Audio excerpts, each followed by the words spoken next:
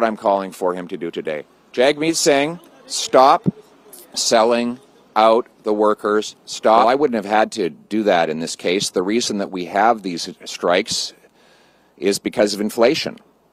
We had last year the largest number of days lost to strike since 1986. What do we have in 1986? Inflation. Inflation leads to strikes because workers and unions have to fight to get back what they lost in purchasing power. Well, how did the inflation happen? The government doubled the debt. Justin Trudeau printed $700 billion of cash.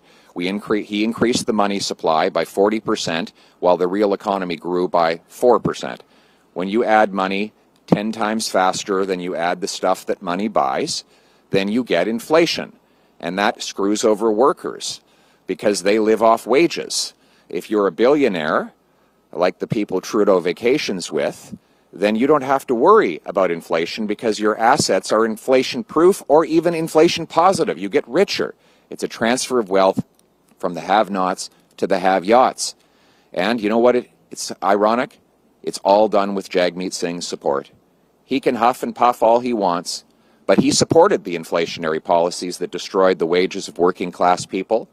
And he support he supports what Justin Trudeau did on the rail strike. Do you know how we know? Do you know how we know that? Do you know how we know that? No. Do you know how we know that that Jagmeet supports it? Because he's still in a coalition with them.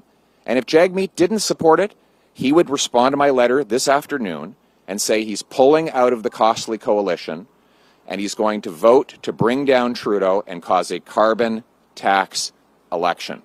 And that's what I'm calling for him to do today. Jagmeet Singh, stop selling out the workers. Stop being sellout Singh. Put the people ahead of your pension. Vote for a carbon tax election now.